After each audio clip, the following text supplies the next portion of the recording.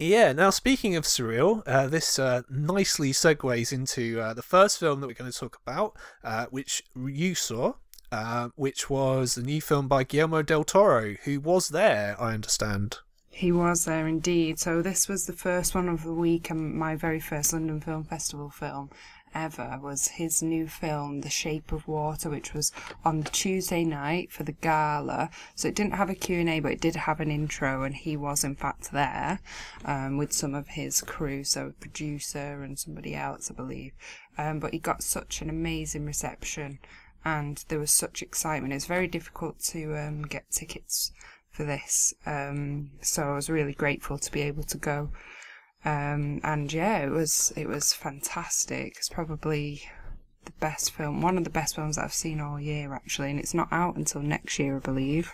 Yeah, yeah. So you get an exclusive. Uh, so yeah, you're very lucky. I really wanted to watch this film, but unfortunately, you know, because it's a hot ticket, uh, these things do go very quickly. So you know, you must know the right people, obviously.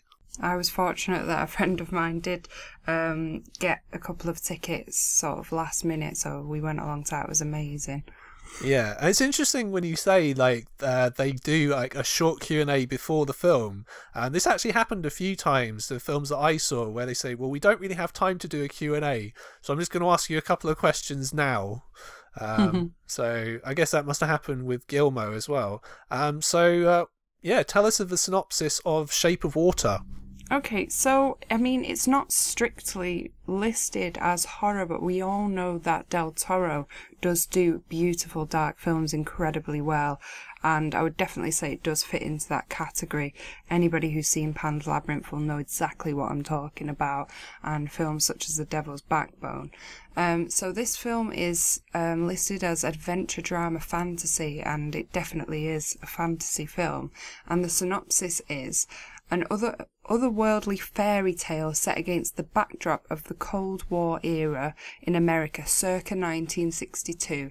In high security government labs where she works, lonely Elisa, um, who's played by Sally Hawkins, is trapped in a life of isolation. Her life is changed forever when her and her co co-worker discover a secret classified experiment. So, um, yeah, I mean, in a nutshell, um, it's about this lady, as I say, played by Sally Hawkins, who's incredible in the film, who is mute. She comes across this secret experiment, um, which I mean, like like I say, we're not doing spoilers, but most people know that this is a creature, so I won't go more into it than that. Um, obviously, with the title of the film, there's a huge um, theme revolving around water, and that's where this creature predominantly is.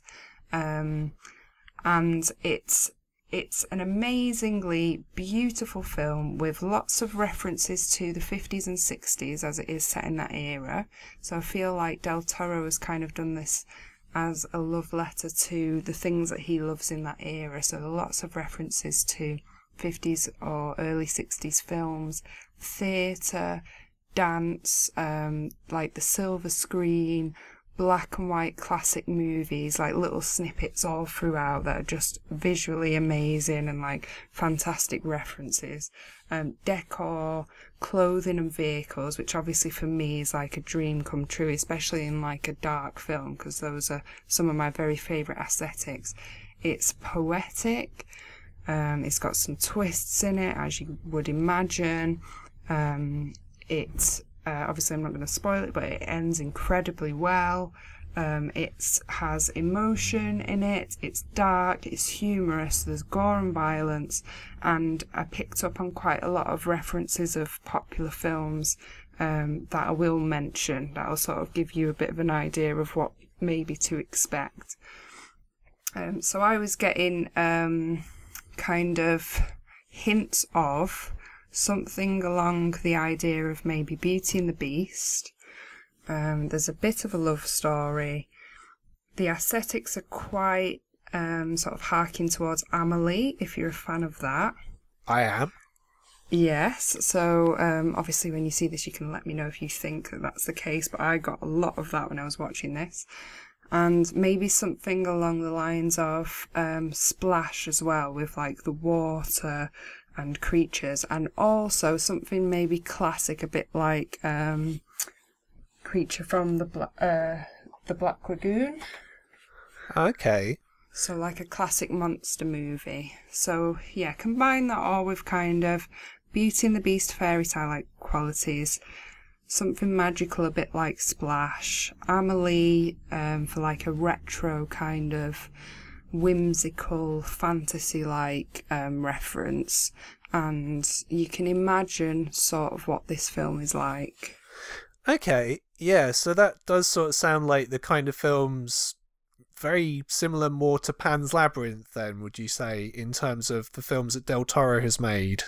Um, yes, but think kind of more classic, and I would say it feels like it's for it's like more mature than Pan's Labyrinth.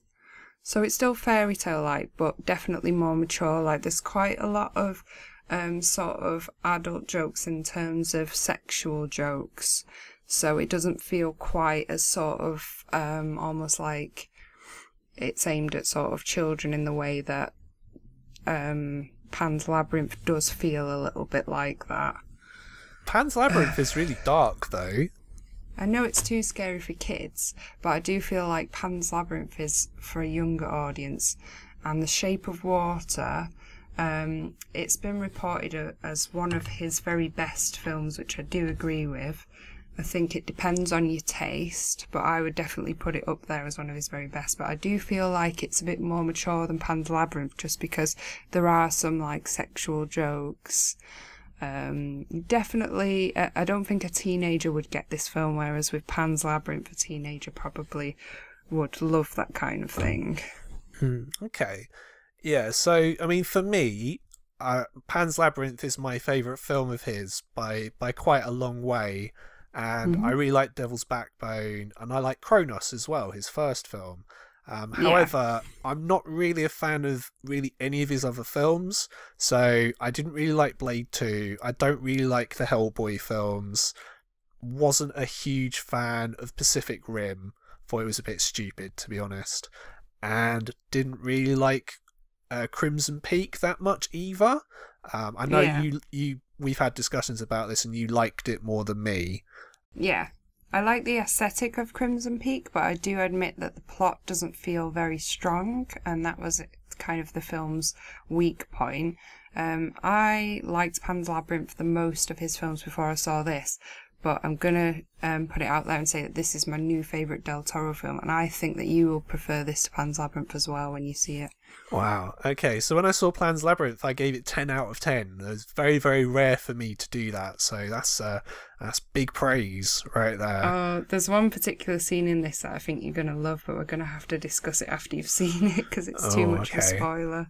Oh, that's not good. Okay. Right. Ask me about that when you've seen it. Ask me which scene it was. Yeah, I'll, I'll have to definitely, definitely. So you've mentioned Sally Hawkins. Now, I I really like Sally Hawkins. She's really good.